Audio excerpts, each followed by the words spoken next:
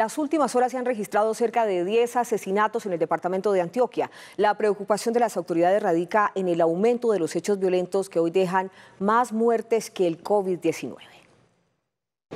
La cifra de homicidios en Antioquia tiene una reducción del 21% en lo que va corrido del año. Sin embargo, el aumento de muertes violentas en las últimas horas en municipios como Bello tienen alerta a las autoridades. Es un panorama complejo, pues decíamos que solo en homicidios ayer hay más muertes que todo lo que llevamos de coronavirus en estos ya casi 40 días. Este viernes se realizará un Consejo de Seguridad extraordinario que busca diseñar estrategias que permitan mejorar los focos de inseguridad.